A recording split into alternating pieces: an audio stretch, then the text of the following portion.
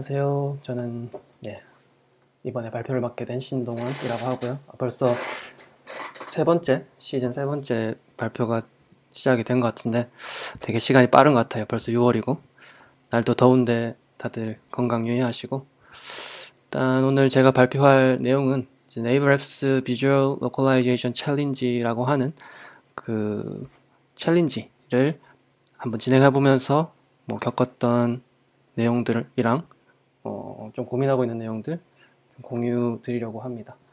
음, 질문은 중간중간에 아무 때나 해주셔도 되고요. 어, 중간에 한번 제가 끊어서 질문 있으신지 한번 여쭤보도록 하겠습니다.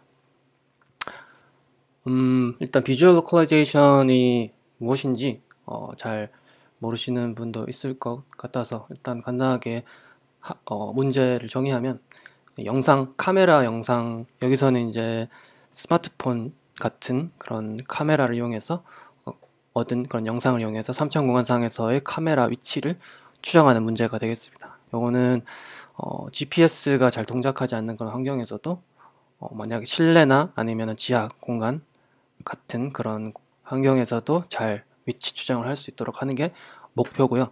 여기 동영상이 있는데 이게 처음에 소리가 좀 크더라고요. 한번 재생 어, 한번 보도록 하겠습니다.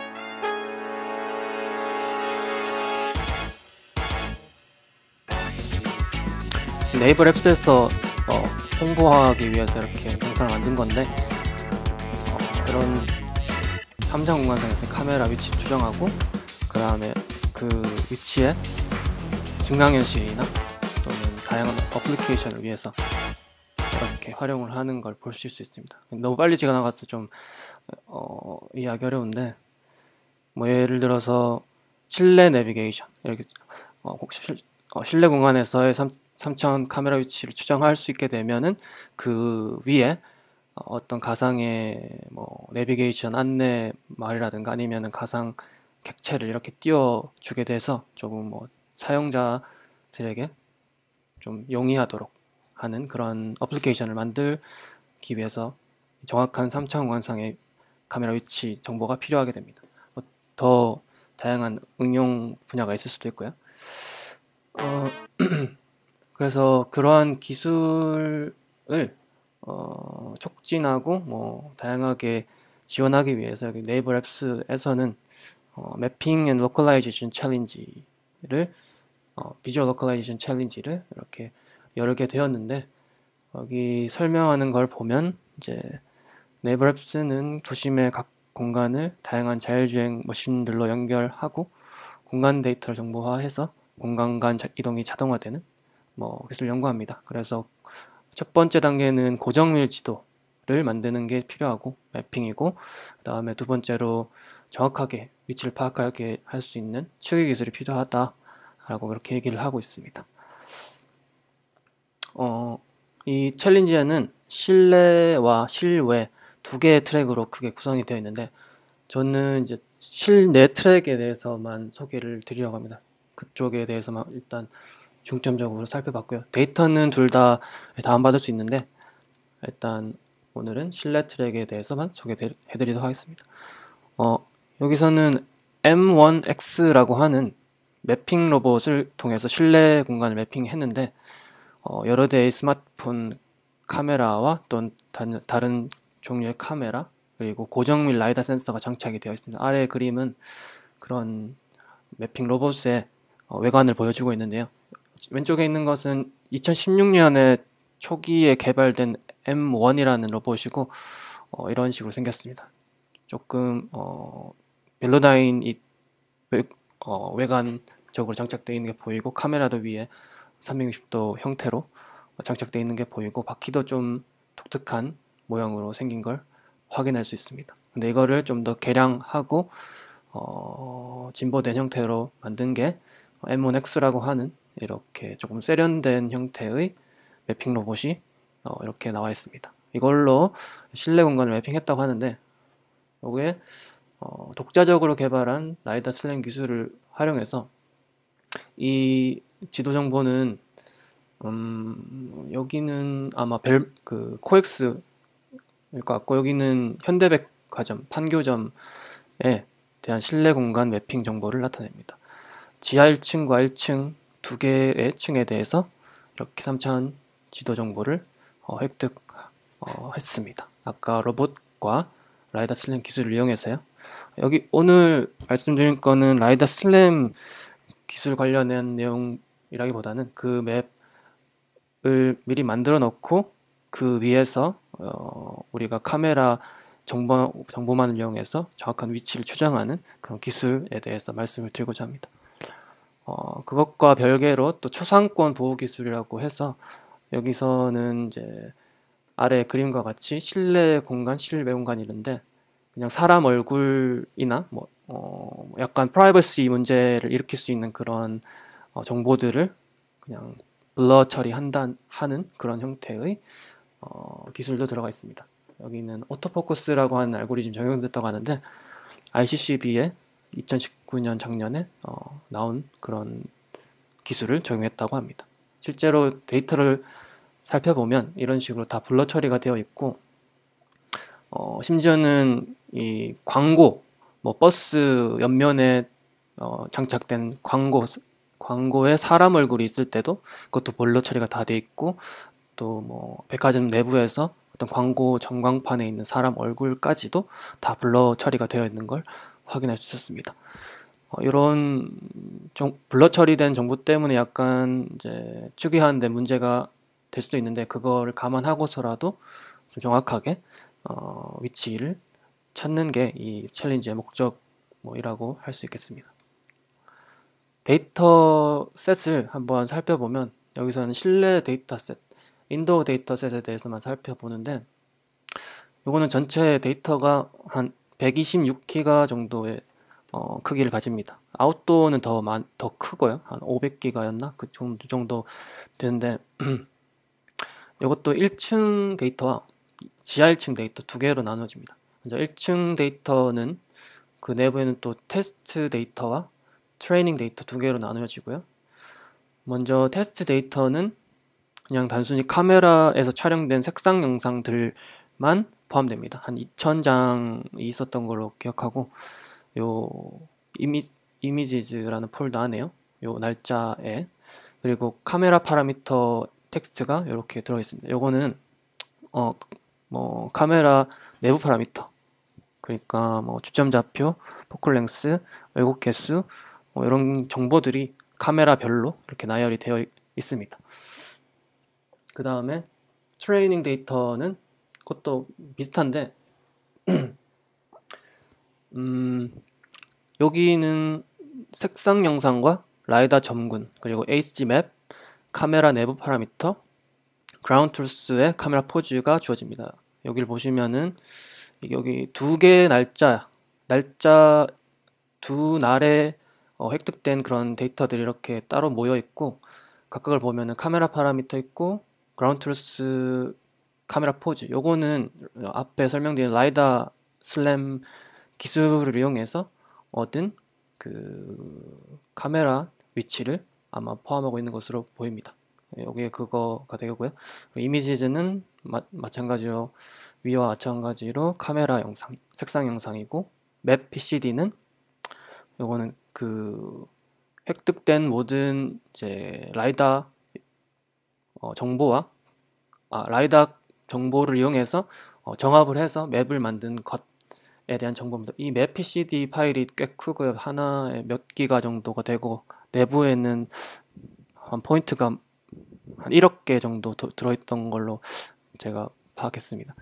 그래서 되게 용량이 크고 load하는데도 되게 시간이 많이 걸리고요. 어쨌든 그렇게 포함되어 있고 그런 식으로 이렇게 날짜 하나에 대해서 이렇게 되어 있고 또 다른 날짜에 수집된 정보를 이용해서 동일하게 데이터가 구성이 되어 있고요.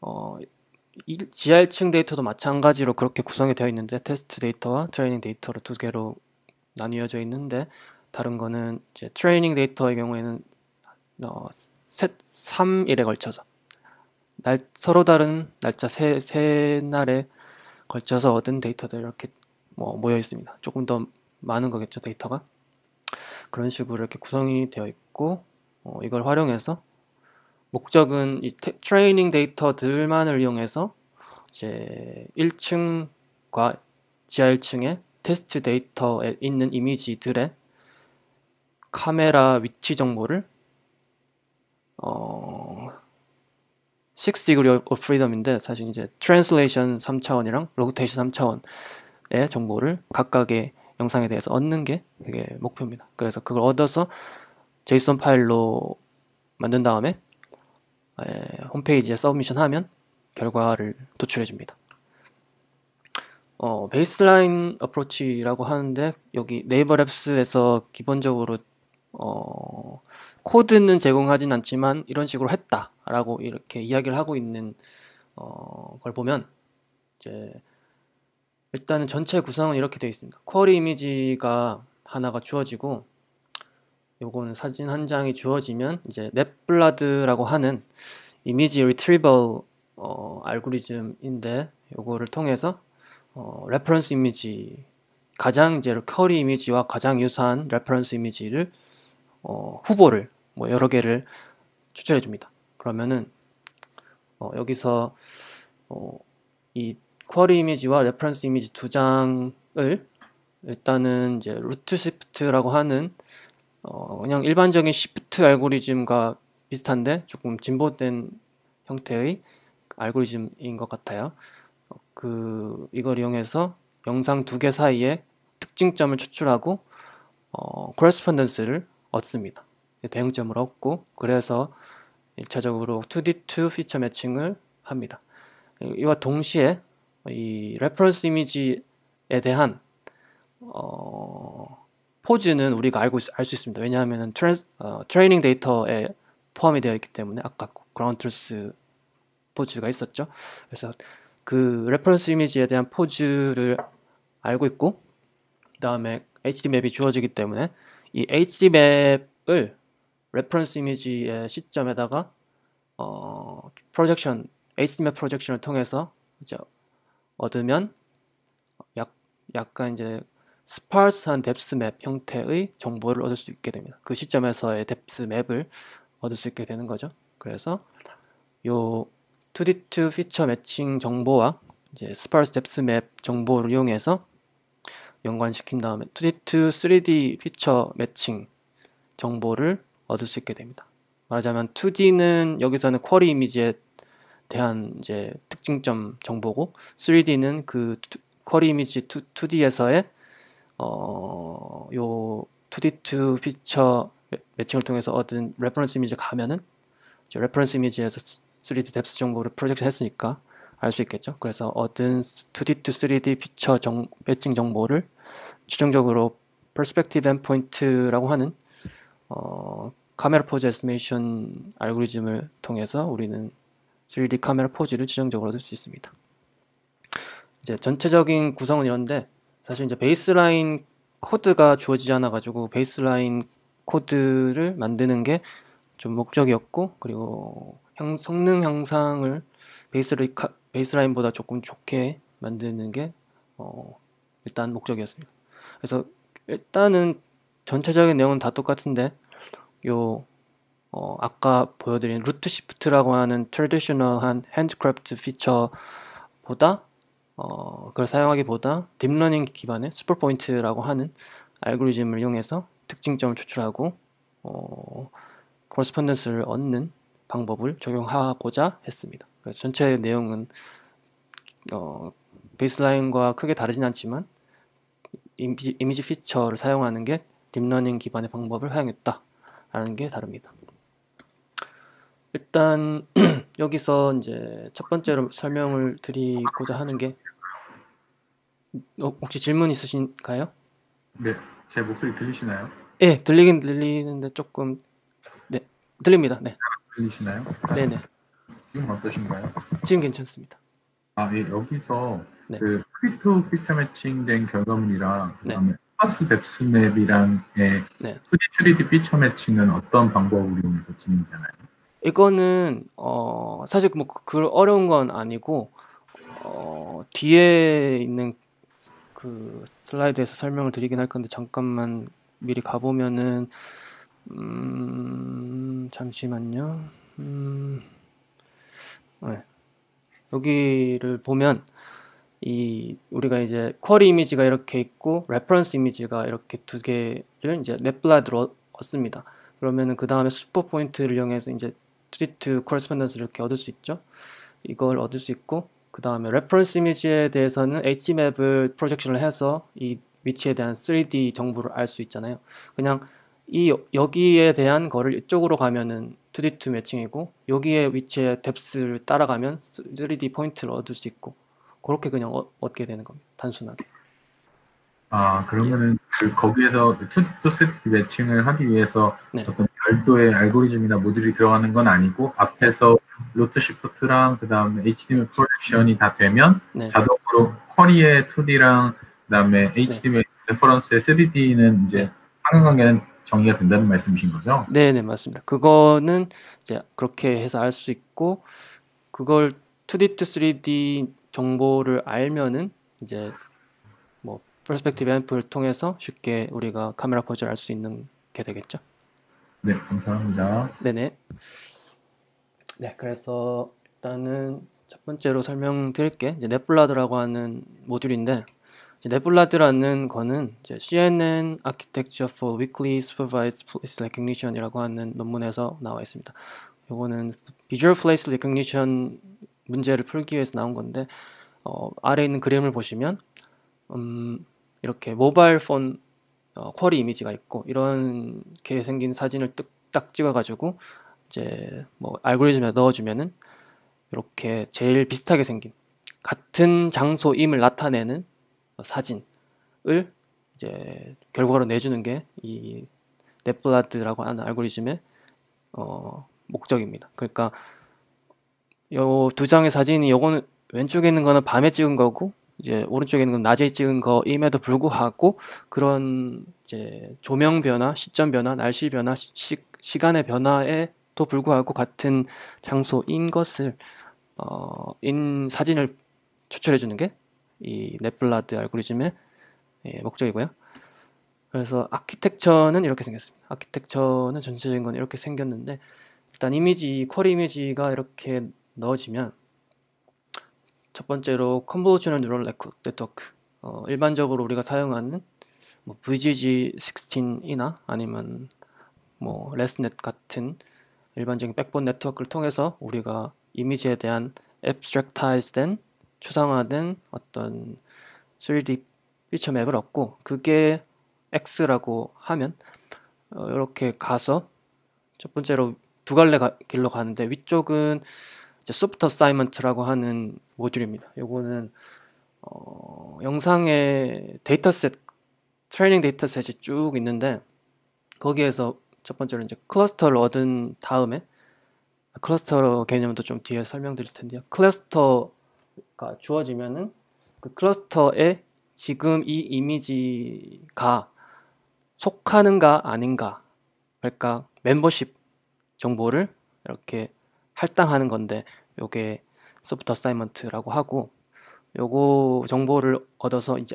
A라고 하는 어떤 뭐 factor가 주어지면 그 밑에 X가 다시 이쪽으로 가서 여기서 어 클러스터 센터와 현재 X라고 하는 그 feature map 사이에 residual을 sum of residual을 구해서 이제 A라고 하는 factor와 곱해서 최종적으로 V라고 하는 VLAD representation을 만들어서 뒤에는 이제 일련의 normalization 어, 절차를 거쳐서 이제 VLAD 벡터라고 하는 어떤 표현법을 얻습니다. 이게 말하자면은 이 영상을 대표하는 이제 어떤 1차원 몇, 몇 차원의 이제 표현 방법이겠죠.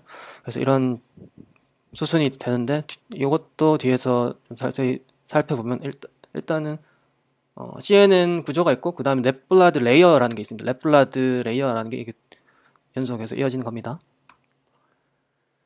어, 원래는 기존의 전통적인 방법으로 이제 VLAD representation이 있었습니다. 요거는 이제 vector of locally aggregated descriptor인가 그거의 약자인데 음, 요런 VLAD 표현 representation을 학습 기반으로 바꾸고자 한 게 이제 NetVLAD고 이제 Net, NetVLAD 설명하기 전에 VLAD부터 먼저 보면 음 어, 이렇게 우리가 그 이렇게 VLAD representation V를 얻고자 합니다. 여기 이걸 얻고자 하는데 이제 클러스터 센터라는 게 있고 CNN descriptor는 요거는 아까 어 여기 CNN 그 VGG16에서 얻은 어떤 X라고 하는 어, 일, 어 descriptor가 되겠습니다. 1차적으로 이 NetVLAD layer 들어가기 전에 이, 이, 여기서 얻은 디, 어, descriptor가 되는데 이제 클러스터 센터는 어 그냥 쉽게 말하면은 이 영상들로부터 이 descriptor를 쭉 뽑아가지고 그냥 K-means clustering 같은 걸 한, 한 겁니다. 그냥 여기서 실험할 때는 64개의 클러스터를 얻어서 했는데 어, 그런 식으로 뭉쳐진 클러스터, descriptor가 이제 어떤 공간에 dimension, multi dimension 공간상에서 뿌려져 있을 거 아니에요. 그럼 뿌려져 있는데 그거를 이제 클러스터를 먼저 clustering을 먼저 해서 K 개의 클러스터 센터를 얻습니다. 그래서 이렇게 미리 얻어지면 이 클러스터 센터와 각 descriptor 사이에 residual sum입니다. 이 식을 보시면 이제 클러스터 센터와 요 descriptor의 차이가 residual이 되고 residual을 이제 이 알파라고 하는 어, factor 멤버십 factor라고 제가 그냥 이야기를 할 텐데 어떤 그 factor를 곱해서 이 다 더한 게 요 각 위치에 들어가게 되는 겁니다. 그게 이제 요점인데 VLAD descrip representation의 요점인데 음, 예, 예전에 이제 bag of visual word라고 하는 그 알고리즘이 있습니다. 그거는 bag of visual word는 이것도 약간 비슷한데 그것도 clustering을 먼저 해서 clustering 한 다음에 그 클러스터에 들어가는가 아닌가를 counting을 해서 counting 한 다음에 그거에 히, 어, 히스토그램 벡터를 어떤 이미지에 대한 어, 대표하는 이미지를 대표하는 representation 벡터를 만드는 건데 요거는 그런 counting을 해서 히스토그램 만드는 게 아니라 이런 클러스터 센터와의 차이를 다 더해서 그거를 이제 디스크립터로 활용하는 부분이라는 게 조금 다른 거고요. 그래서 얻, 얻는 거는 만약에 J가 2고 K가 1인 경우에는 만약, 만약에 첫, 첫, 첫 번째 클러스터 센터에 대해서 J가 두 번째 차원, 두 번째 차원에 있는 것들에 대해서 계산을 한다고 했을 때 여기서는 이제 아래쪽으로 가는 게 J X 쓰고 이제 오른쪽으로 가는 게 K 축이라고 하면은 이제 K가 첫 번째니까 요, 요, 요쪽이고 J가 2니까 요 두 번째. 그래서 요 위치에 들어가는 값이 이제 클러스터 센터의 두 번째 어, 위치에 있는 어떤 값과 이 CNN 디스크립터들의 두 번째 차원에 있는 모든 값들과의 residual을 구해서 각각 residual을 구하고 그걸 다 더하고 그 다음에 요 어, assignment 벡터를 곱해서 여기에 들어가게 되는 거죠. 여기 그게 이제 V고요. 이제 이게 전통적인 VLAD representation인데 사실은 어 요거를 학습 기반으로 만들어야 되는데 이 알파라고 한 알파가 아니라 A라고 하는 이 부분이 이제 source of discontinuities라고 해서 불연속의 어, 원인이 된다라고 합니다. 그러니까 여기서는 0 또는 1로 원래는 했어요.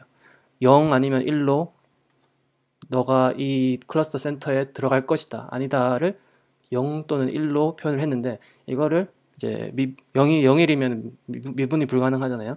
그렇게 딱딱 떨어진 거니까. 그래서 미분 가능하도록 좀 soft assignment 요거는 hard assignment인데 뒤에서 soft assignment를 하고자 그걸 조금 바꾼 겁니다. 그래서 이 알파라는 것이 어떻게 바뀌냐 하면은 어, 이 식은 사실 이 어, 그런 K에 대해서 K에 대해서 어떤 cluster center에 들어갈 것인가를 모두 더하고 요 residual sum을 residual을 다 어, summation 하고 그, 그 위에 지금 내가 보려고 하는 K, 요 K가 K 팩터가 이 K dash고 이 K인데 이 어떤 1차원의 차원이 이렇게 dimension 어 1차원의 벡터가 있으면은 그거에 대해서 다 더하고 하나에 대해서만 나누는 게 이제 softmax잖아요. 그게 그런 형태의 어, 구조를 가지게 됨으로써 이 알파 K라 아, AK라는 이 soft assignment 어, 항을 만든 겁니다. 모사를 한 거죠. 아까 한 거를. 근데 이거를 이제 전 제곱항을 전개하고 학습 기반 형태로 재표기하면은 어, 이거를 제곱을 제거 제거해서 전개하고 어, 이렇게 나타내면은 요, 요 위에는 작, 짧게 이렇게 나타내 봤는데 그냥 전개해서 이렇게 되고 근데 이 앞에 있는 A X 트랜스포즈 X는 분모에도 있고 분자에도 있기 때문에 그거는 상쇄됩니다. 그래서 이 뒤에 있는 것만 요 남는데 요거는 어 요거랑 요거랑 같은 거예요. 그러니까 여기 WK가 2 여긴 또 알파네. 알파 CK랑 bias term BK는 마이너스 알파 CK 제곱 요 항을 이제 여기 대입하면은 요거랑 요거랑 같게 됩니다. 그래서 이런 식으로 표현할 수 있는데 요게 우리가 익히 어, 볼 수 있는 그런 CNN layer에서 가중치 값과 bias 값에 이제 값 곱한 거를 이제 softmax로 표현한 그런 형태가 됩니다. 그래서 이렇게 soft assignment를 한 다음에 최종적인 NetVLAD layer는 이제 VJK는 이런 식으로 아까 위에 있던 알파 항을 요 걸로 엄마야 바꾸고 나서 바꾸고 나서 그 다음에 뒤에 있는 건 residual이고 residual sum을 하는 것이 됩니다.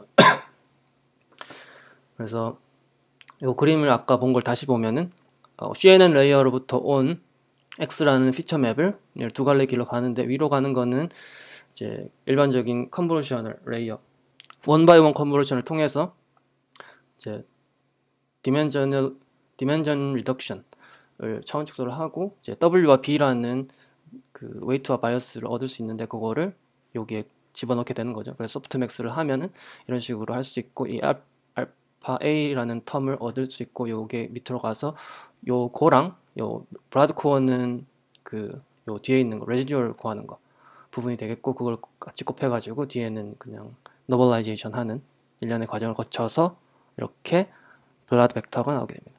요거는 오른쪽에 있는 거는 그 코드를 한번 살펴본 건데 요 forward라고 한 함수 안에 PyTorch로 구현된 건데 이게 soft assignment에서 어, sof- 어, convolutional operation 이렇게 하고 요게 이 부분이 되겠죠.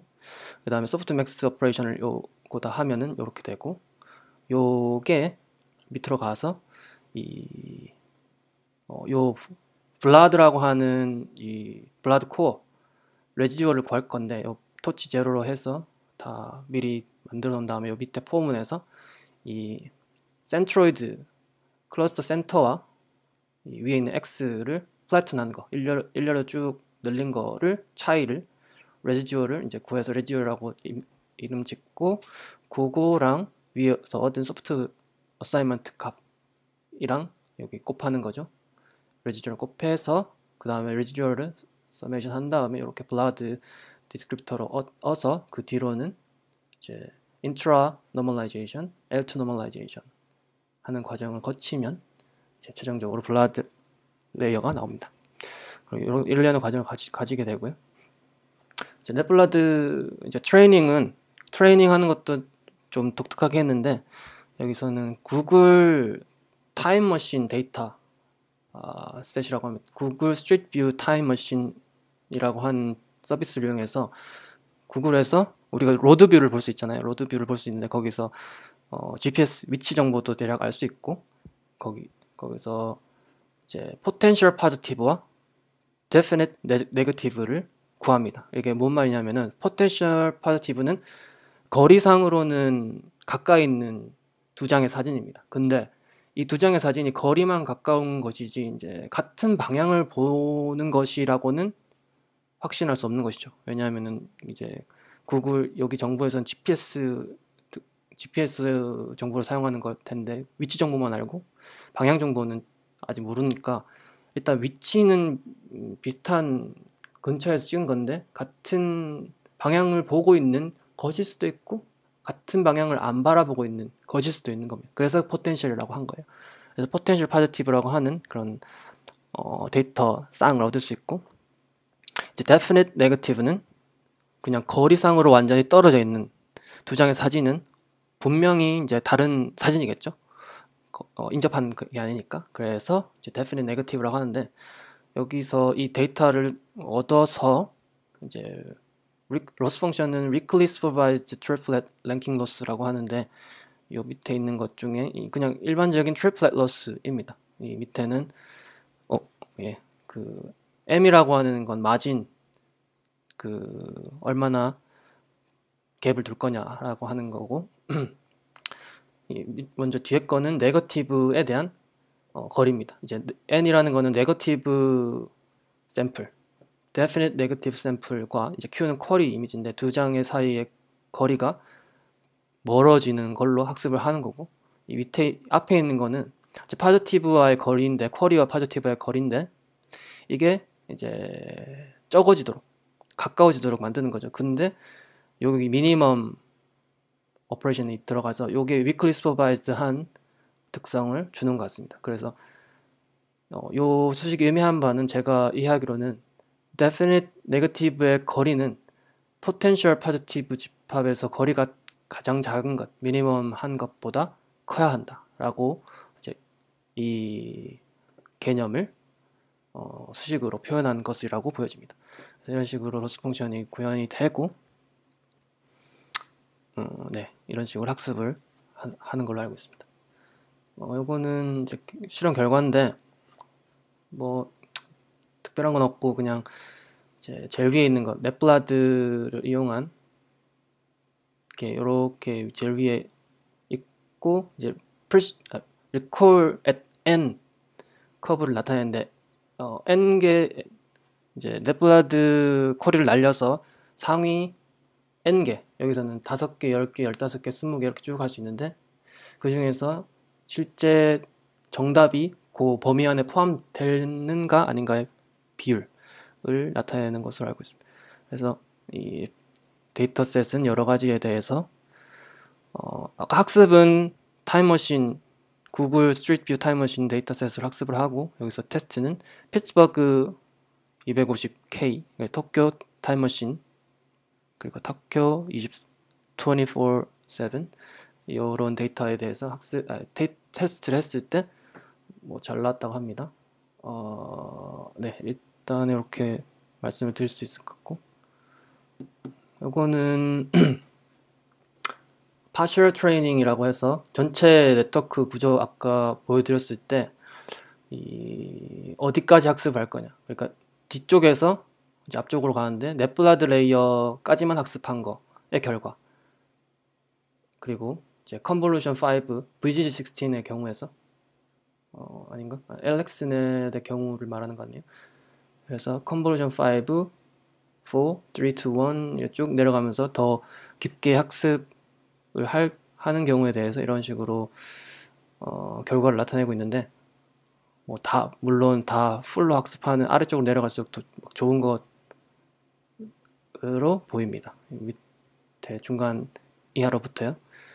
여기는 이제 VLAD layer를 활용한 결과고 여기 왼쪽에 있는 거는 그냥 max pooling operation, max pooling layer를 이용한 학습 결과로 어, 제가 이해를 했습니다.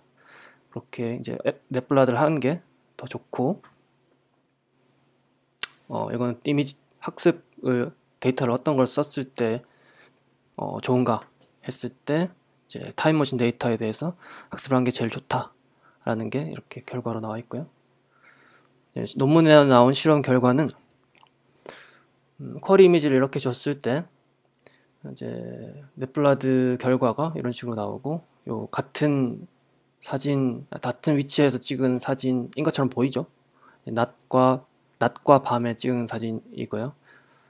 근데 이제 baseli best baseli, baseline이라고 하는 다른 알고리즘에서는 이제 정확한 결과를 보여주지 않는 것도 이렇, 이렇게 있었다 라는 게 있었습니다. best best line은 be, best baseline은 여기 RootSIFT랑 VLAD랑 같이 쓴 겁니다. VLAD 아까는 원래 전 traditional한 VLAD descriptor가 있다고 말씀드렸죠. 그거를 이제 RootSIFT라고 하는 거랑 결합해서 한, 한 거를 이제 한 거고 요거 제안하는 거는 NetVLAD라고 하는 학습 기반의 방법을 이용한 게 더 잘 됐다라는 결과고요. 이거를 이제 네이버 랩스 dataset에다가 학습을 하고 이제 테스트를 해봤어요. 그러니까 이제 저는 VGG 백본을 사용했고 층별로 그러니까 지하 1층 그리고 지상 1층별로 30회폭씩 돌리는데 엔비디아 테슬라 V100 한 대에서 이틀 정도가 소요됐습니다. 층 하나당 그래서 층두 개를 했으니까 총 4일이 걸렸다고 할 수 있겠고요. 이거는 학습의 그런 트렌드 추이를 텐서보드로 나타낸 건데 음, 위에 있는 거는 그냥 로스 값들이고 밑에 있는 것들은 리콜 값들입니다. 리콜 1, 5, 10, 20 이렇게 상위 한 개 제일 상위 첫 번째 것이 정답인가 아닌가의 비율을 나타내고 그리고 요건 상위 다섯 개를 뽑았을 때 그 안에 정답이 있는가의 이제 비율 그리고 10개, 20개 뭐 이런 식으로 되고요. 뒤로 갈수록 확실히 이제 정답을 맞출 어, 값이 높아지겠죠. 이런 식으로 되고 지하 1층, 1층의 경우고 요거는 결과인데요. 시각적 결과인데 query 이미지를 이렇게 줬을 때 이렇게 reference 이미지가 나오게 됩니다. 확실히 두 장의 사진이 같은 장소에서 찍혔다고 말을 할 수 있겠죠. 이것도 어, 두 장의 사진이 어, 같은 상점에서 찍은 거라고 보여지고 이것도 그렇고요. 근데 이 query 이미지와 reference 이미지는 각기 다른 날에 찍힌 사진입니다. 같은 날에 찍힌 게 아니고요. 요 이미지와 이미지는 다 다른 날에 찍힌 사진들임에도 불구하고 꽤 잘 찾아주는 걸 볼 수 있었습니다. 저도 어, 신기하더라고요. 잘 찾아줘서. 그래서 여기까지가 이제 NetVLAD 알고리즘에 대한 내용인데 그 뒤에 설명을 드리기 전에 혹시 요 NetVLAD에 대해서 혹시 질문 있으신 분이 있으실까요?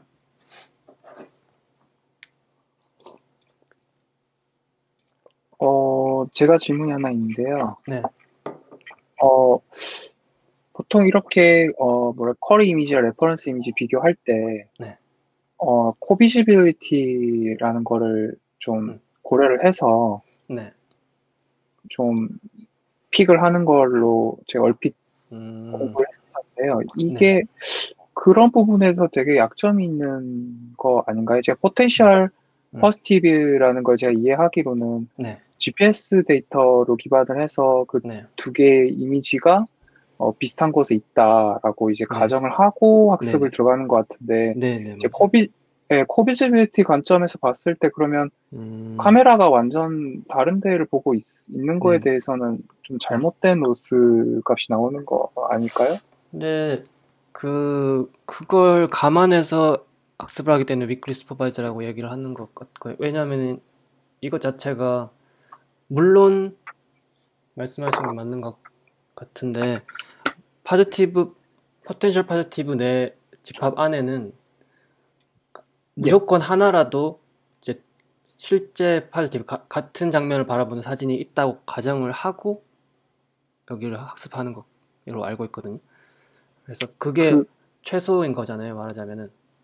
예. 그거 그 가- 네. 네네. 가정이니까 혹시 음. 데이터를 다 일일이 확인을 제대로 하지 않고 진행을 하면 음. 예, 어떻게 잘 안 되겠죠, 당연히. 네, 그렇게 그러니까. 알고 있는데 저도 그 부분은 좀 감각하긴 했는데 어, 음, 일일이 확인했으려나? 그렇진 않을 것 같고 그렇진 않을 것 같고 어, 음, 음, 네, 그 부분 한번 체크를 해봐야 될 것 같습니다. 이게 그런 과정이 만족되지 않을 때 어떻게 학습이 되는가? 아, 예, 감사합니다. 네, 네, 감사합니다.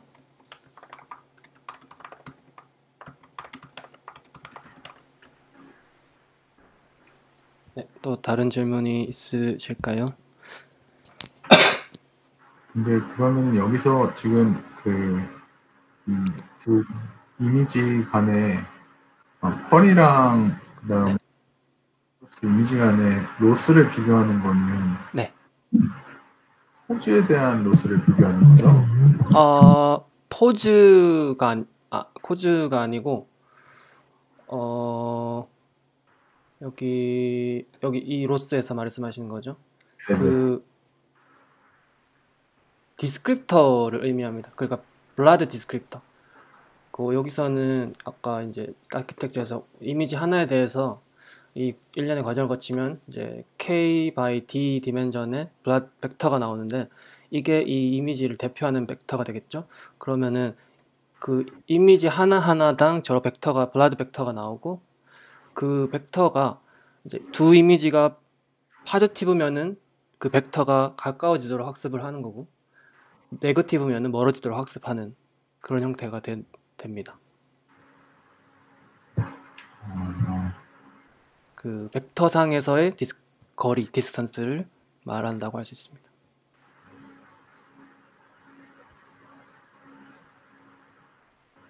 스- 설명 설명이 되셨을까요?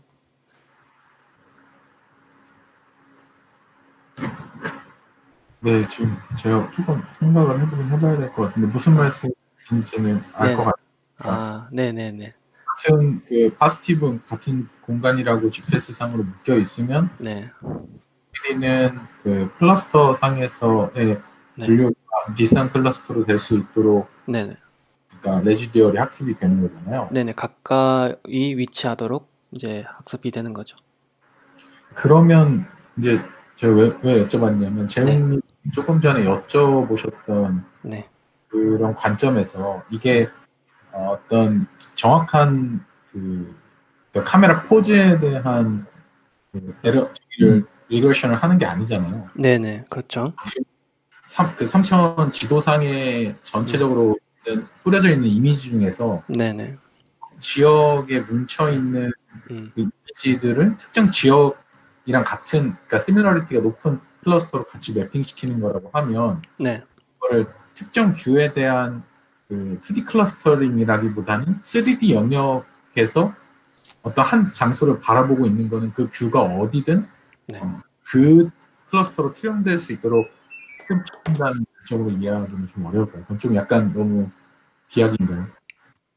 어, 제가 이해를 잘못했는데 어, 2D, 네, 네, 어떤 재홍님이 말씀하신 대로 네. 예를 들어서 GPS 상으로는 완전히 같은 위치인데 네, 앞쪽을 보고 있고 하나는 뒤쪽을 보고 있으면 그렇죠. 이미지의 correlation 자체는 완전히 반대고 카메라 음. 포즈도 다르잖아요. 네, 네, 근데 이거를 이 두 이미지가 그 지도상에서 같은 지역에 있다라는 관점으로 네. feature한다는 관점에서는 네, 같은 지역에 있으니까 네, 그 블라드 피처상에서 같은 음. 클러스터로 할당되는 게 맞잖아요. 그 여기선 근데 이 믹- 앞에 있는 이 항이 같은 위치인 데이터가 뭐 셋이 여러 개가 있을 거거든요. 그거 음. 중에 최소 하나는 이제 실제로 같은 방향을 바라보는 게 있다고 가정을 하고 하는 걸로 제가 알고 있는데 어, 그 중에 네, 만- 네네. 그게 음. 이제 그래서 potential positive라고 하는 개념인 것 같고 어, 음, 그게 그 그걸 카메라 포즈랑 상관없이 무조건 GPS 상에서 거리가 가장 가까운 게 네. 가장 유리한 것일 것이다. 가까운 거는 모두 po, po, positive이긴 한데 그 중에 이제 방향을 같은 방향을 같은 시점을 바라보는 거는 이제 확실한 positive고 그냥 그것 같은 위치라고 하는 것 자체는 potential positive다. 아, 라고 말씀을 드릴 수 있는데 저도 약간 헷갈리는 부분이 있어서 한번 더 살펴보고 답변을 드리도록 하겠습니다. 네. 네, 알겠습니다. 네, 감사합니다. 네, 그러면은 어, 넘어가서 이 다음에 SuperPoint라고 하는 이제 2D2 feature matching 알고리즘을 이용해서 특징점을 얻는데 SuperPoint는 어, Self-Supervised Interest Point Detection and Description이라는 논문에서 나온 것입니다. 요거는 SuperPoint는 Magic Leap이라고 하는 어, AR 전문 스타트업에서 논문이 나온 거고요. 어제 제가 밤에 CVPR 그 보면서 이미지 매칭 관련한 tutorial을 봤는데 거기서도 SuperGlue라고 하는 새로운 알고리즘 나왔더라고요. SuperPoint에 개, 개서, 서, 개선된 이제 버전인 것 같아요. 그래서 SuperGlue라는 알고리즘도 있었는데 그거를 사용하면 좋다 뭐 그런 이야기를 하더라고요. 그래서 그걸 한번 사용해 볼까라는 생각도 하고 있는데 일단 SuperPoint가 뭐 먼저인 것 같아서 그걸 해본 결과를 설명드리고자 합니다. 그래서 알고리즘은 전체 과정은 이렇게 되고 첫 번째로 아, 이렇게 세 개로 나뉘어져 있습니다. 첫 번째는 interest point pre-training이라고 해서 이런 이거는 가상의 가상에 합성된 그 영상들입니다. 그리고 어떤 기초적인 primitive들만 얻은 거예요. 그러니까 육면체나 아니면 사각형이나 이런 패턴 같은 것만 이렇게 만들어내서 만들어내면은 우리가 ground truth의 특징 좌표를 알 수 있잖아요. 요 꼭지점 같은 걸 이런 부분을 우리가 만들어낸 거니까 그거를 이용해서 1차적으로 어, base detector를 학습합니다. 이 base detector는 그냥 일반적인 CNN 알고리즘이고요. 그래서 그렇게 1차적으로 학습한 걸 이용해서 그 다음에 interest point self tra self labeling이라고 해서 어, self labeling 그러니까 스스로 학습 데이터를 만들어냅니다. 여기서는 그 앞에서 얻은 베이스 디텍터를 이용해서 베이스 디텍터와 이제 unlabeled 이미지라고 하는데 여기서는 우리 자연에서 얻을 수 있는 그런 데이터 여기 합성 이미지가 아니라 실제 이미지입니다. 이미지를 주어서 어, 호모그래픽 어댑테이션이라고 하는 전략을 통해 이렇게 호모그래피를 막 여러 개를 만들어서 이런 식으로 어, 이미 예, ground truth, pseudo ground truth interest points 그러니까 pseudo ground truth의 어, 말장난 같은데 pseudo ground truth의 특징점 좌표를 이렇게 labeling을 합니다. 이런 절차가 있고요. homographic adaptation은 또 뒤에서 설명드릴 거고요. 그리고 이렇게 얻은 labeling 정보를 통해서 이제 SuperPoint라고 하는 알고리즘 네트워크를 학습시키는데 여기는 이제 detector 네트워크가 있고 descriptor 네트워크가 있습니다. detector 네트워크는 말 그대로 이 앞에서 얻은 이 pseudo truth 정보를 위치를 학습하도록 하는 그 detector 부분이고 이제 descriptor는 이 그 특징점 위치에 대한 descriptor를 이제 학습시키도록 이 두 영상에서 두 개 영상에서 이렇게 특징점이 있고 이 두 장 영상은 사실 같은 영상이지만 homography로 어, warping된 어떤 쌍의 이미지입니다. 그래서 두 장에서 특징점을 얻고 그 두 장에 대한 우리가 ground truth의 correspondence를 알고 알 수 있으니까 그걸 이용해서 이제 두 영상 사이의 특징점에 대한 descriptor를 아까 말씀드렸던 약간 triplet loss 개념으로 가까운 건 포지티브는 가깝게 네거티브는 뭐 이렇게 그렇게 학습을 시키는 겁니다. 그래서 어 일단 아, 네트워크 아키텍처는 이렇게 생겼는데 좀 간단하게 생겼습니다. 이제 이미지가 W width height 1차원의 영상, 흑백 영상으로 보입니다.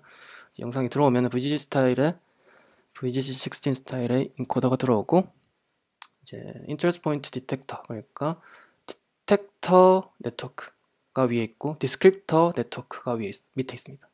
detector 네트워크에 대해서 먼저 설명드리면 말하자면 그 특징점의 위치를 추출을 결과로 내어주는 네트워크예요. 여기서 하는 일은 그게 그게 그거고 어, 일단 VGG 16 스타일의 encoder로부터 얻은 feature map이 이렇게 나오면 이거를 뭐 one by one convolution을 이용해서 dimensionality reduction을 해서 이제 8 h by 8 8분의 h 8분의 w의 크기의 이제 width와 height를 가지고 65 채널 65 아, 차원의 어, 3D 피처 맵을 얻습니다. 이걸 X라고 하고요. 이 65가 왜 65냐라고 하면 그냥 논문에서 발췌를 해봤는데 어, 여기서 non-overlapping 8x8 grid regions of pixel, pixels plus an extra no interest point dustbin. 어, 말하자면은 8 8x8에 어, 이미지 위치 픽셀 위치 그러니까 8 곱하기 8은 64개가 되는 거고 거기에 플러스 어디 그 8x8 위치에 어디에도 포인트가 없다를 나타내는 no interest point dustbin이 하나가 추가돼서 65입니다. 어, 요것만 봐도 잘 이해가 안 가는데 제가 그림을 그래서 그려봤는데요. 제가 이해한 바로는 예를 들어서 이제 1024 x 1024의 이미지가 들어왔다고 칩시다. 인풋으로. 그러면은 요 인풋을 쭉 들어와서 VG 스타일 피처 맵이 얻어지고 이제 컨버전 통해서 이제 8분의 1로 다 줄어들잖아요. 그럼 1024 x 1024는 8분의 1로 줄어들면은 128 x 128의 어, 피처 맵이고 그 다음에 원래는 3D입니다. 3D인데 이 하나의 위치가 뒤로 이쪽 뒤로 쭉 65차원의 1차원 벡터가 있는 겁니다. 그러면 이 1차원 벡터가 의미하는 거는 원래 영상 크기 원래 크기 영상에서 8x8의 픽셀 영역을 의미한다 하는 걸로 제가 이해를 했는데 그러니까 여기 영상에서 8x8 영역의 픽셀 영역을 요 아래쪽에 뭐 아래쪽에 있겠죠. 그 영역을 의미하고 그 8, 8x8 영상에서 그거를 플래툰을 하는 겁니다. 일, 쭉 펴서 이제 64개의 위치를 나타내는 그 위치에서의 포인트가 있느냐 없느냐 나타내는 확률값. 이 1차원으로 63개가 있고 그거 더하기 아무데도 그 8x8 영역에 포인트가 없다 라고 나타내는 하나의 차원이 추가돼서 65차원이 되고 이게 이제 그 영역에서의 어떤 위치에서의 포인트가 있음과 없음을 확률 값을 나타내는 그 학습해서 기반 학습으로 이제 나타내지는 그런 정보가 됩니다. 그래서 이게 이게 x고 그거 feature map이 이제 softmax와 reshape을 통해서 이 원래 크기의 이미지로 돌아오고 이 영역에서 특징점의 위치를 이렇게 확률 값으로 내어주게 되겠죠. 그게 이제 원래 ground truth에 아까 우리가 얻어진 ground pseudo ground truth labeling 데이터를 통해서 이 부분이 학습되고요. 그게 detector 네트워크의 어, 부분이고 다음으로 descriptor 네트워크는 여기서는 특별한 건 없는데 뒤에서 설명드린 드릴 그 loss function에서 좀 어, 어, 특별한 부분이 있고요. 여기서는 그냥 앞에서 설명드린 VG16에서 피처 맵을 얻고 8분의 1로 해서 이게 D라고 합니다. 위에 건 X고 밑에 건 D입니다. 근데 D 차원의 D 차원은 이제 descriptor의 크기, 해당 위치에서의 descriptor 크기를 나타내고 요 바이큐빅 인터폴레이트와 L2 놈을 통해서 원래 크기의 어, width와 height를 가지고 D D dimension descriptor 크기의 dimension에 이제 벡터를 얻습니다. 그러면 이게 의미하는 바는 해당 위치에서 이미지에서 어떤 위치에서의 그 특징점의 descriptor를 나타냅니다. 이렇게 이제 얻어내고 이걸 이용해서 뒤에서 loss function을 얻어내는 거죠. 아, 계산하는 거죠.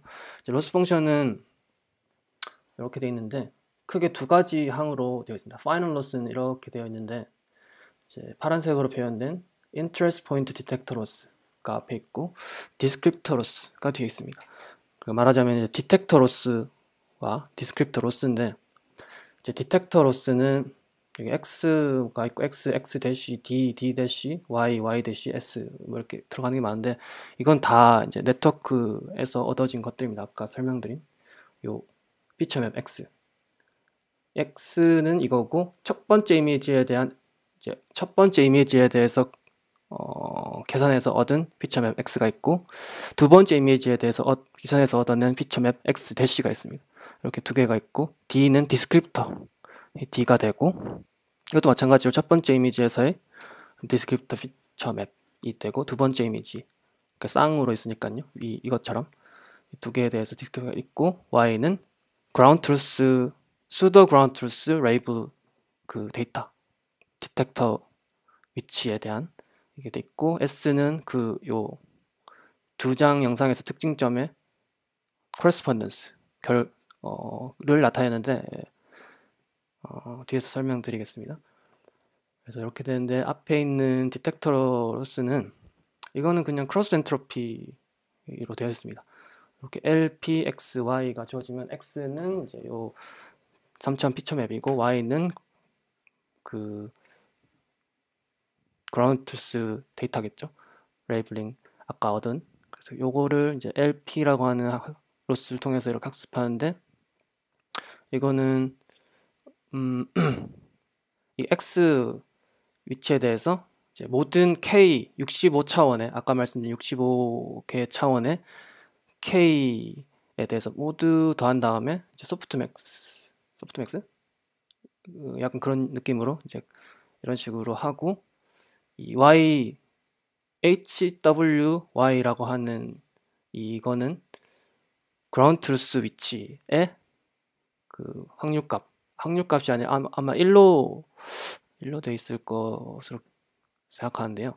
그러니까 65 차원에 이렇게 있을 때 이게 진짜 정답인 것에 대해서 이제 softmax 형식으로 이렇게 하고 loss function을 구성해서 이걸 다 계산을 하는 거죠. 이런 게 그렇게 되면은 이 ground truth에 가깝게 detector 위치를 내어주는 쪽으로 이 detector 네트워크가 학습이 되겠죠. 그 다음에 descriptor loss는 음 이것도 어 이렇게 생겼는데 요 LD라고 하는 loss function이 이 LD는 이렇게 돼 있고요. 이거는 hinge loss라고 하, 하는데 이것도 마찬가지로 위에 있는 게 이제 positive에 대한 어, loss. 그러니까 두 개의 descriptor 쌍이 이렇게 주어졌을 때 같은 맞는 어, positive 쌍인 경우에는 가깝게 그리고 아닌 negative 쌍인 경우에는 멀게 이렇게 학습을 하는 데 있어서 이 S라는 항이 이제 앞에 곱해집니다. 요 두 개 항은 이렇게 플러스로 더해지고요. 이 S라는 항은 두 개의 어소시에이션을 나타냅니다. 그 이 연결 관계. 요 S라고 하는 항을 계산하는 바는 이렇게 되어 있는데요. 이 뒤에 만약에 H라고 하는 게 호모그래피입니다. 호모그래피가 가상으로 여기서 만들어낸 일련의 호모그래피 워핑을 통해서 이렇게 워핑을 하고 그걸 통해서 이제 코레스폰던스를 얻는데 이 PHW라고 하는 첫 번째 영상에서의 위치의 그것을 H라고 하는 호모그래피를 곱해서 하면 오핑이 되겠죠.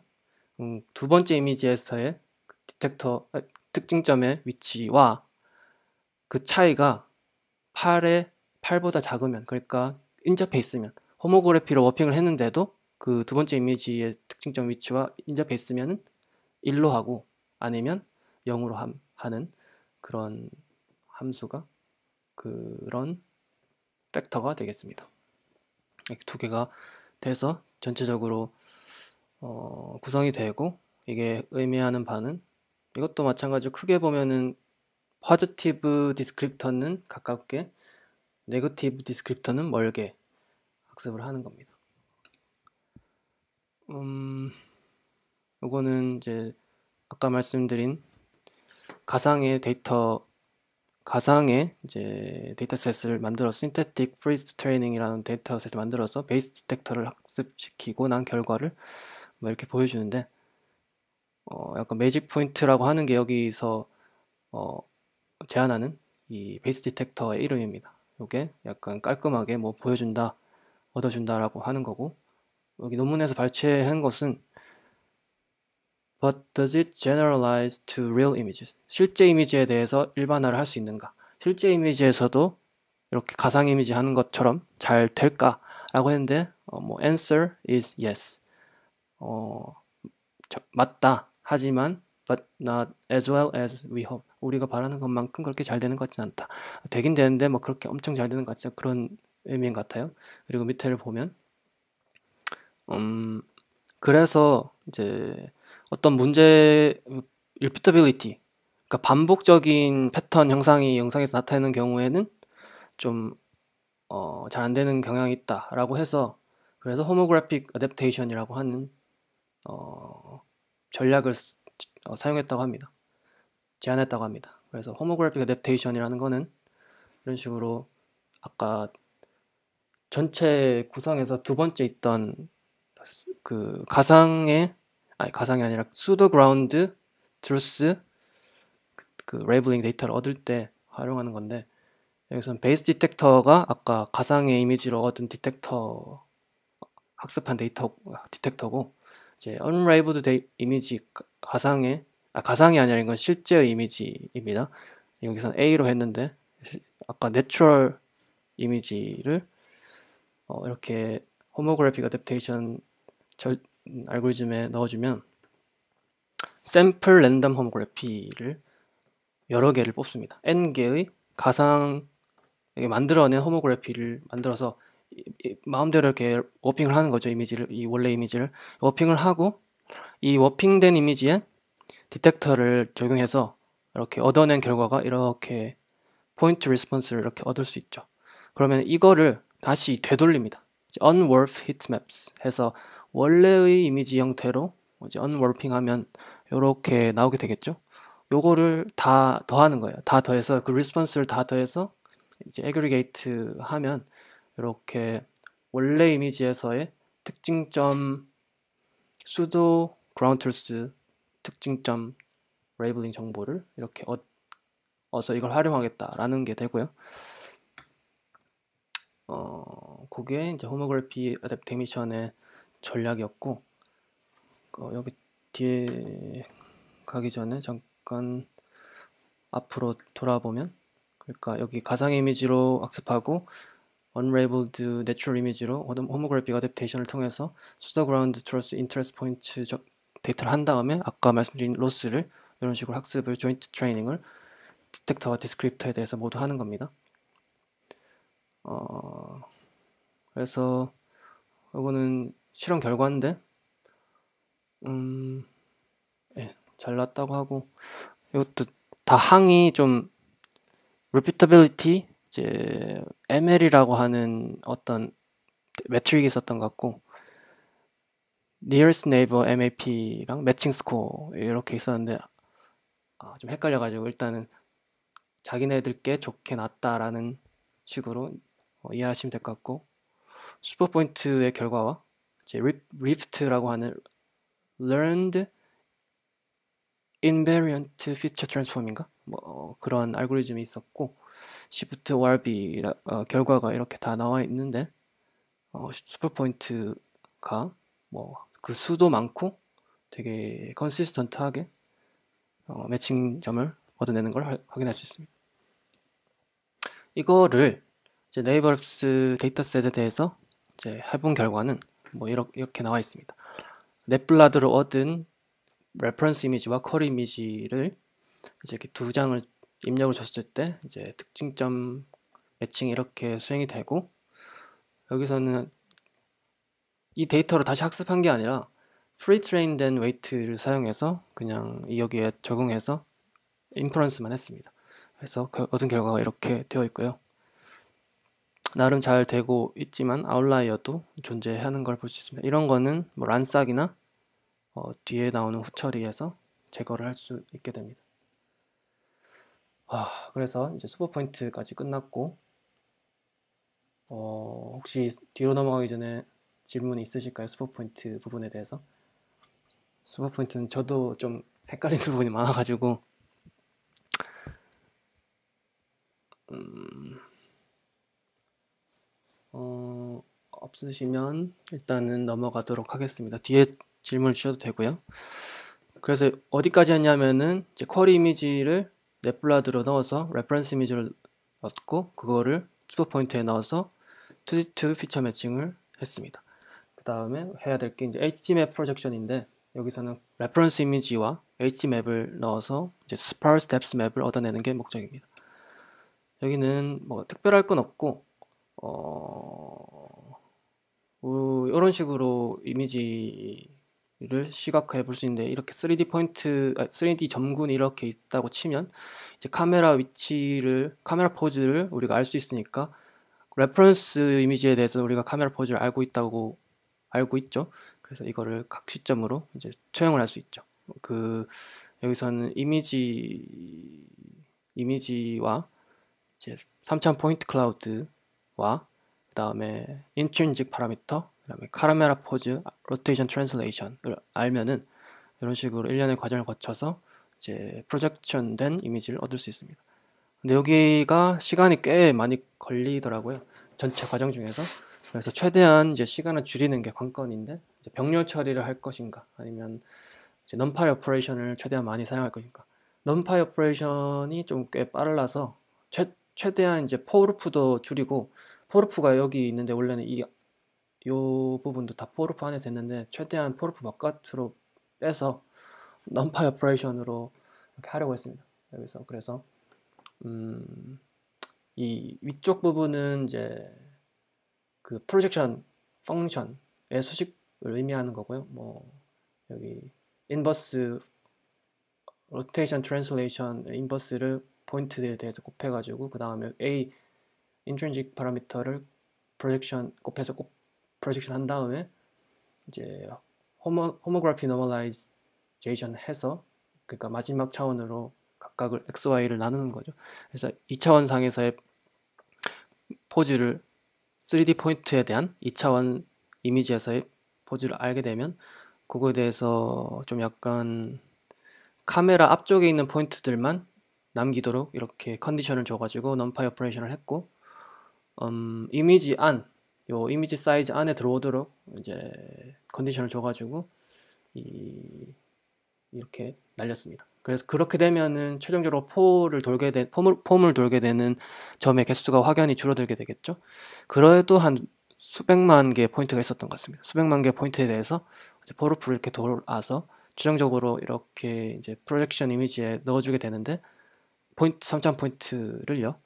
그런데 여기서 하나 더 if문이 이제 이전에 있던 이 projection 이미지에 원래 박혀있던 값이 원래 박혀있던 값이 새로운 것보다 짜, 크면 이제 새로운 값을 넣어줘라. 그러니까 말하자면 graphics에서 culling이라고 하던데 앞에 있는 것만 앞에 있는 object에 대한 depth 포인트만 이제 박아주도록 그렇게 하는 게 이제 projection function에 되겠습니다. 이제 HTML 프로젝션의 결과는 이렇게 되는데요. 이렇게 이, 이미지가 이런 식으로 있으면 HMap을 어, projection해서 약간 이런 식으로 sparse한 형태이긴 하지만 이렇게 얻을 수 있고 요로 요 다른 이미지도 요 테이블에 대해서도 잘 얼라인 되는 걸 어, 확인할 수 있었습니다. 어, 한 가지 더 구현해봤던 게 레이 캐스팅을 간단하게 구현을 해봤어요. 되게 간단하게 해서 어, 쉽게 구현할 수 있었는데 근데 어, 이거는 어, 이런 식으로 이제 아까는 프로젝션은 3D 포인트 관점에서 2D 이미지로 보내는 거라서 어, 그렇게 하는데 이거는 반대로 2D 이미지 픽셀 관점에서 카메라 센터로부터 픽셀 위치로 ray를 보내가지고 쭉 ray를 따라 가다가 만나는 object가 있으면 그거를 이제 이 위치에 넣게 되는 거죠. 근데 어, 수식은 이렇게 되고 ray 방향을 우리가 카메라 내부 parameter로부터 얻을 수 있고 ray direction을 normalization 하고 이거를 어, ray를 따라 스텝을 쭉 나가다가 어, 주변에 어, radius search를 해서 어, ray 주변에 해당 현재 ray 주변에 어떤 포인트가 걸리면은 그거를 넣어주도록 했습니다. 그런 식으로 이렇게 쭉 했는데 아, 수행 시간은 좀 줄어들긴 했는데 이제 sparse depth map의 quality가 많이 떨어지더라고요. 어, projection 한 것보다. 그래서 최종 결과가 좀 안 좋아지는 경향이 있어서 이거는 일단은 보류를 했습니다. 이런 식으로 테스트만 하고. 그래서 일단 그 우리가 지금까지 한 게 어, 2D2 feature matching을 했고 sparse depth map 얻었으니까 이제 3D, 2D2 3D feature matching을 간단하게 하고 PNP를 돌려볼 예정입니다. PNP는 워낙 유명한 알고리즘이라서 뭐 자세히 설명을 드리지 않겠지만 어, 간단하게만 설명드리면 2D 영, 이미지 피처가 이렇게 있으면 3D 포인트와의 코레스폰던스를 우리가 알고 있다고 가정할 때 최소 3개의 점을 알고 있다고 할 때 이 카메라 3차원 공간상의 카메라 위치를 추정하는 거예요. 그래서 이런 식으로 이게 완전히 똑같은 이그젠플이라고 볼 수는 없지만 포인트들이 이렇게 map에 대한 포인트가 있고 카메라가 이제 움직이면서 이렇게 많이 움직이진 않지 많이 움직이진 않지만 사실 이제 조금 조금씩 움직이면서 정확한 카메라 삼차원상의 카메라 포즈를 계산하는 겁니다. 그렇게 되면은 최종적으로 우리가 원하는 카메라 포즈가 나오게 되는 겁니다. 그래서 PNP는 OpenCV에 있는 거를 사용했고요. 어, 이런 식으로 이제 2D 포인트 리스트와 3D 포인트 리스트를 이렇게 얻을 수 있고 요거는 이제 앞서 계산한 방법들로 이렇게 리스트를 얻으면은 이제 solve pnp RANSAC이라는 함수에 CV OpenCV에 있는 이제 포인트 리스트와 2D 포인트 리스트를 쭉 넣어서 이제 결과와 성공했느냐 실패했느냐 true false 결과와 어, 로테이션 벡터, translation 벡터, inlier 개수를 이렇게 얻을 수 있습니다. 그래서 이거를 이제 Rodrigues라고 하는 함수를 통해서 우리가 일- 일반적으로 사용하는 로테이션 매트릭스 3000 3x 3의 매트릭스로 얻어서 이렇게 되고 그 다음에 뒤에는 이제 그 로테이션과 translation 얻었으니까 최종적으로 어, 이렇게 어, 얻어낼 수 있습니다.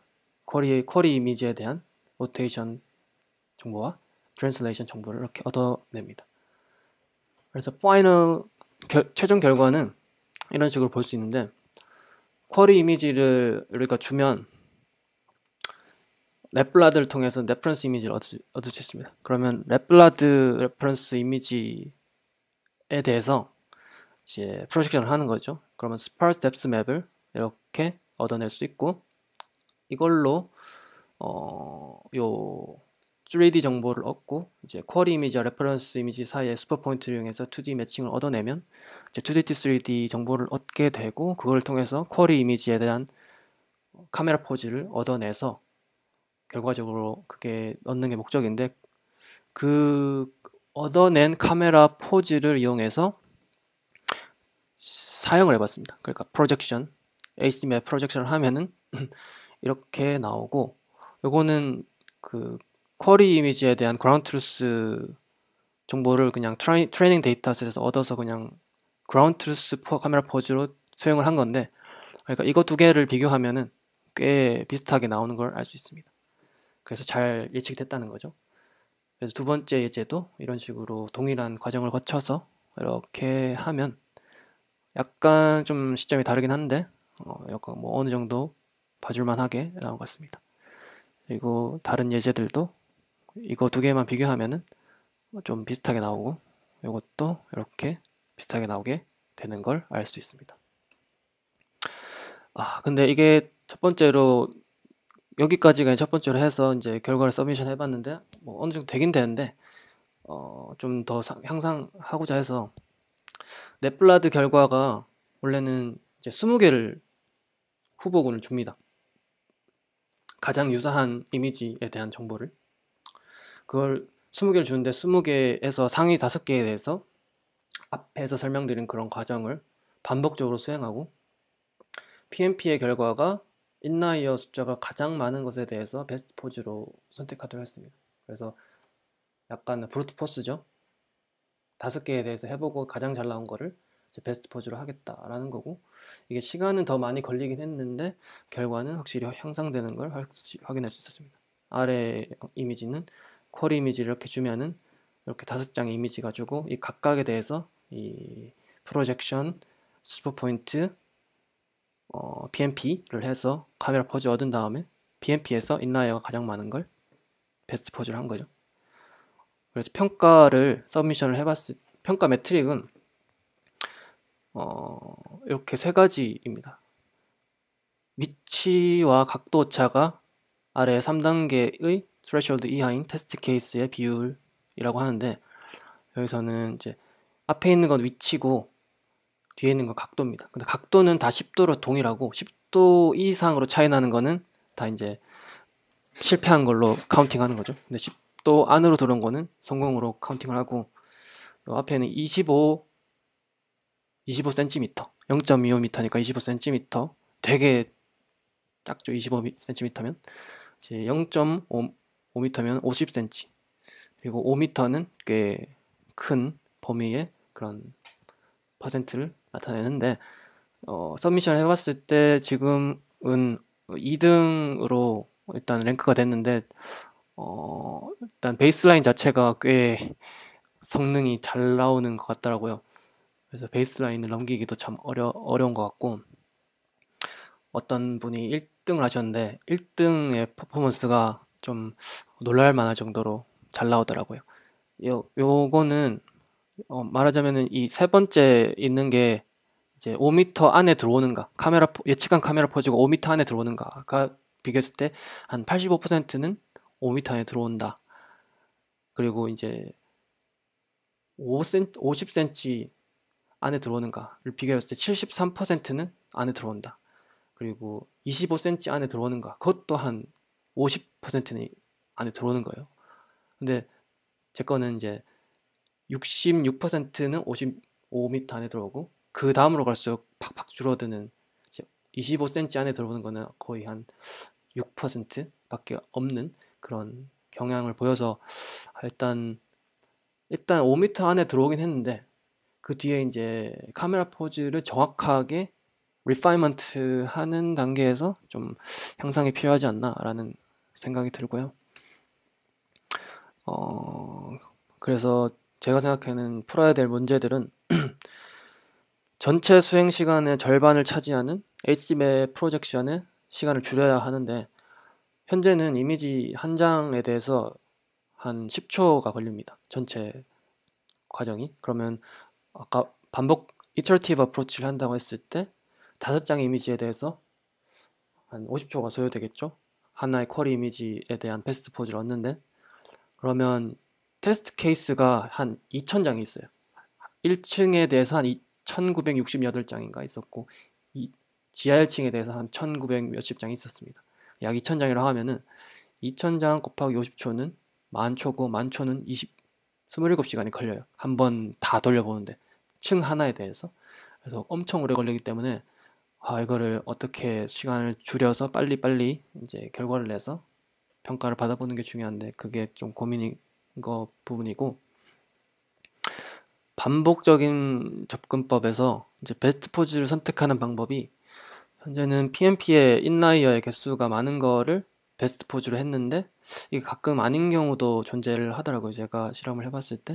그래서 그거를 어, 떻게 선택하느냐라는 부분도 좀 생각해야 될 부분이고 평가 지표상의 5m 경우에 수치 높이는 부분은 이제 넷블라드가 좀 잘 되면은 잘 나올 것 같습니다. 여기서는 학습 파라미터를 튜닝하거나 뭐 예를 들어서 클러스터의 개수를 조절하거나 아니면은 loss를 다른 걸 쓰거나 아니면 triplet 얻어내는 거를 좀 다르게 하거나 뭐 이런 방법이 있을 것 같고 그 다음에 이, 이 0.25m, 0.5m의 경우에 수치 높이는 거는 이미지 특징점 매칭 알고리즘을 다른 것도 활용해 보면 좋지 않을까라는 생각이 들고요.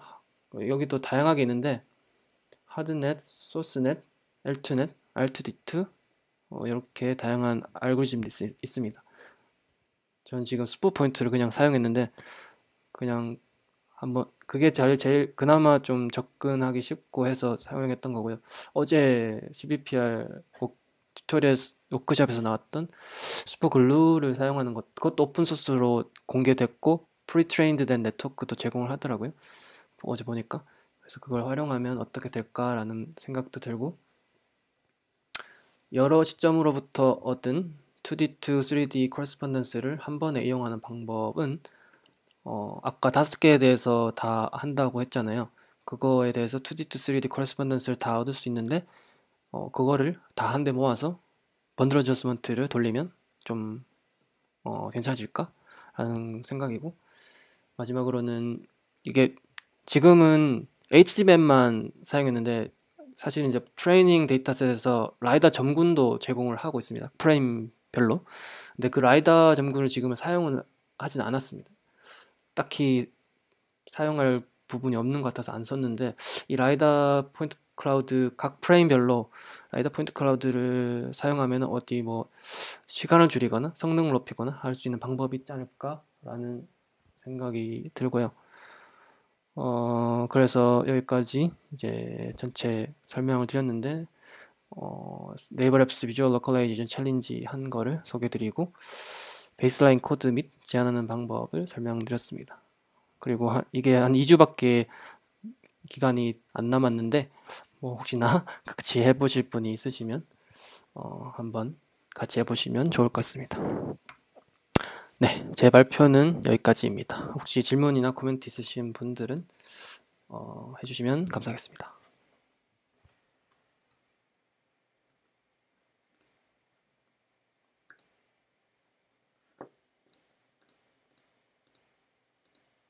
음,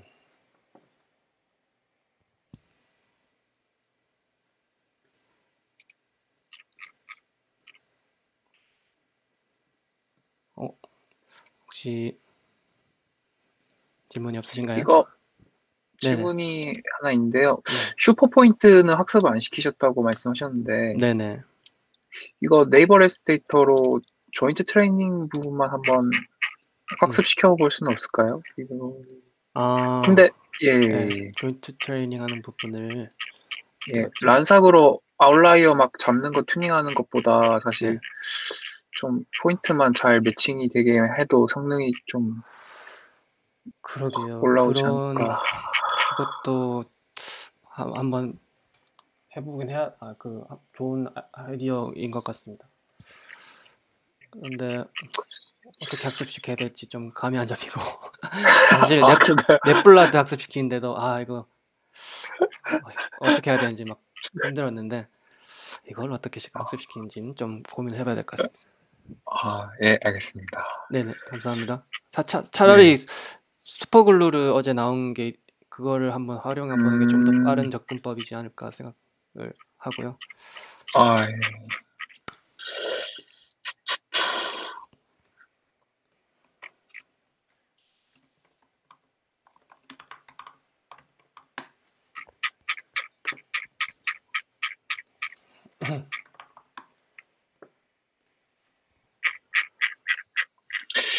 그리고 이거 2D, 2D 매칭 하신 다음에 네. 2D, 3D 피처 매칭으로 한 거 가지고 네. 란삭 돌려서 포즈 뽑으시는데 네.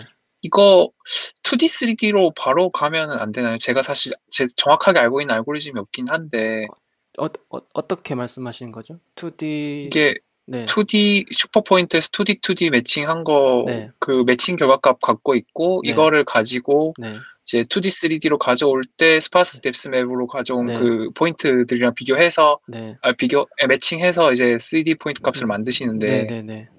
아, 근데 다른 다른 음. 바- 접근법이 있나요? 아 이게 아 결국에 같은 말인 것 같습니다. 제가 아. 착각했는데 아, 아. 제가 같은 말한 것 같습니다. 예. 아, 그래요? 아, 네, 네. 네. 음, 혹시 뭐 다른 접근법이 있으면 뭐 소개를 해 주셔도 좋을 것 같습니다. 아, 예, 알겠습니다. 어... 네, 그러면은 혹시 뭐 질문이 없으시면 여기까지 발표를 하도록 하고요.